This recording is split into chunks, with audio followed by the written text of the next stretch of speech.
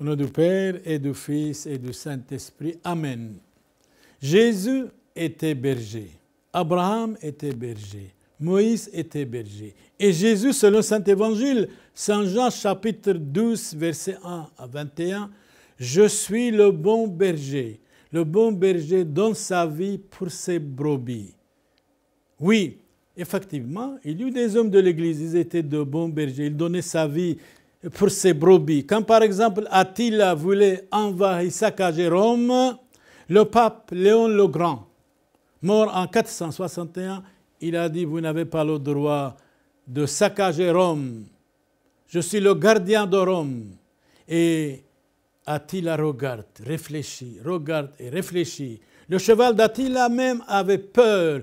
Il faisait ta, ta, ta, ce qui veut dire quitter le pape, ne pas dévaster Rome. Et finalement, le pape a sauvé Rome de l'invasion, d'Attila, Attila 461, euh, ce pape est mort et décédé. sont des véritables bergers pour des brebis, comme Jésus a donné sa vie pour ces brebis. Pour ces brebis, entrez dans la porte étroite.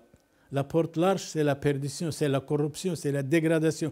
Je suis le bon pasteur, je suis le bon berger qui donne sa vie pour ses brebis. Effectivement, quand les pays, quand les pays scandinaves, pays slaves, étaient envahis par les Ottomans, par les Turcs, nous avions un prêtre extraordinaire, mort en 1456, Saint Jean de Capistran.